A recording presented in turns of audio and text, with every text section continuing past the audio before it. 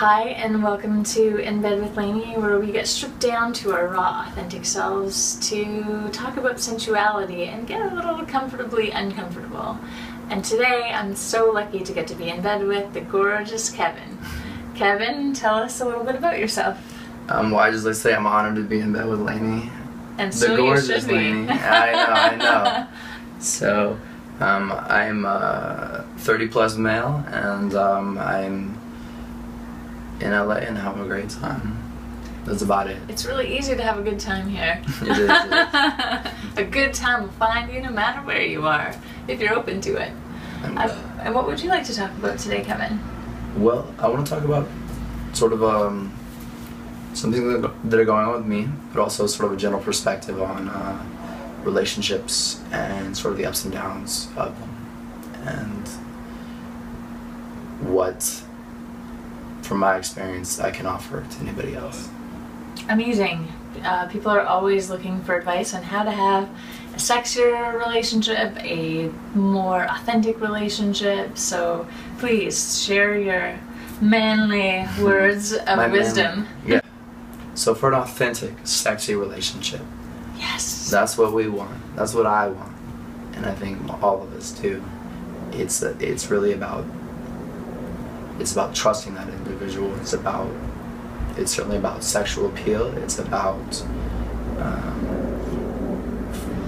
it's about knowing self, me knowing myself, you knowing yourself, and being okay with it. Acceptance, and ultimately accepting yourself, and then your partner accepting you as well.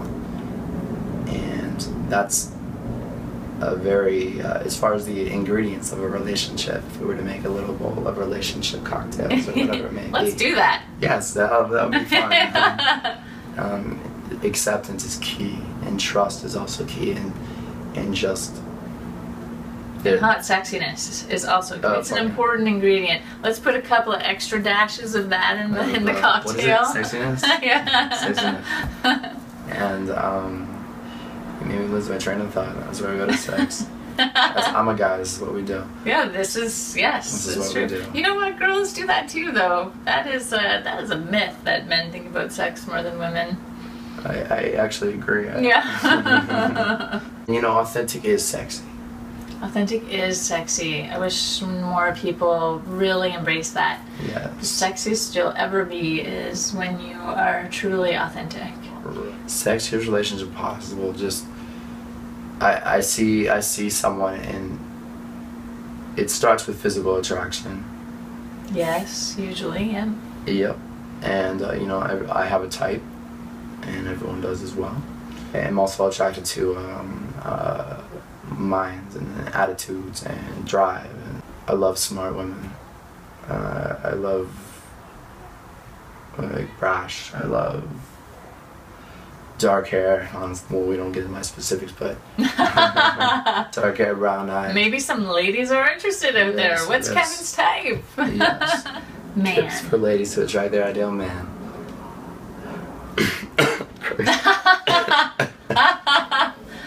um, Pause for that question. yes, I would say ideal man.